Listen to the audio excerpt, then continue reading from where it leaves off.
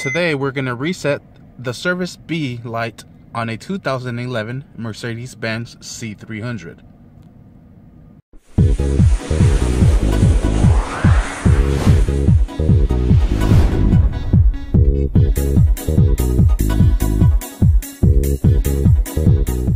All right, the first thing you're gonna wanna do is stick your key into the ignition and go ahead and turn it over to the first ignition switch.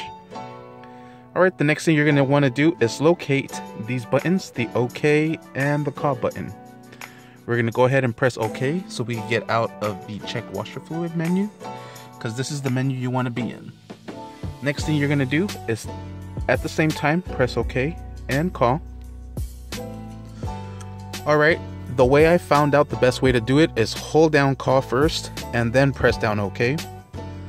Then we're gonna come into this menu here now you're gonna use these buttons here to scroll down the menu. We're gonna go to ASSYST PLUS, and then we're gonna press OK. All right, we're gonna go to Full Service and press OK. Config Full Service and press OK. Service carried out, and we're gonna go to Yes and press OK. Cannot be undone. Confirm. Go down and press OK. Okay, full service carried out. So now, when we start up the car, turn it off, turn it back on.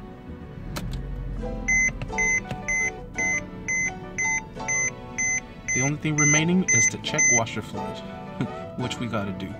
That's the next thing we gotta do. So, as you can see, the message is not coming back up. We're just gonna press OK, and we're complete. Sweet. Thank you for watching. Please like and subscribe. Don't forget to hit that bell.